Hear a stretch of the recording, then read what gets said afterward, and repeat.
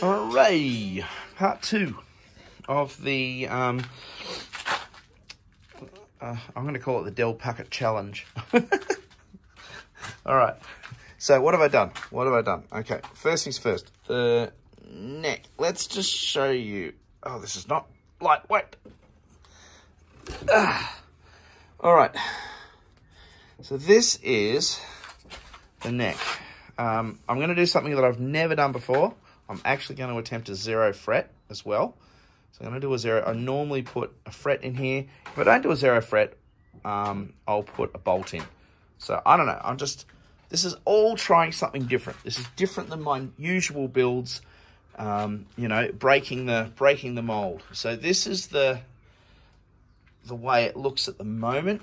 I've put, I've put on another little piece, uh, extra piece of Meranti here because I am going to put an electric pickup in here.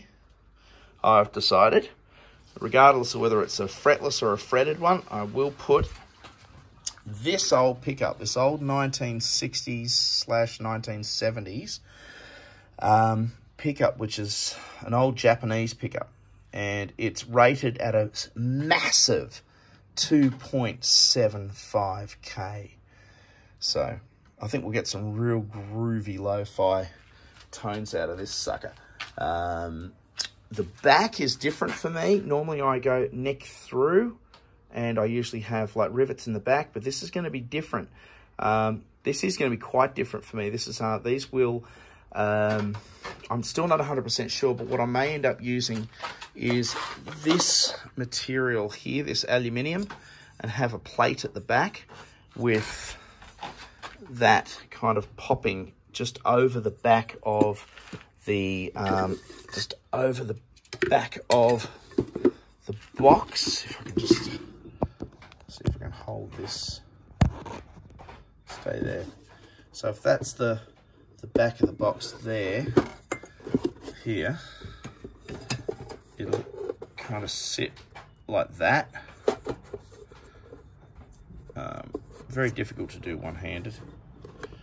But I'll try. There, like that.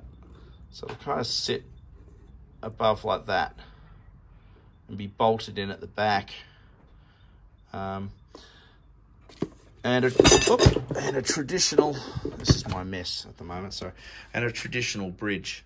But let's see where we go tomorrow with this. And um, uh, But that's currently where we're sitting with the Del Puckett Challenge.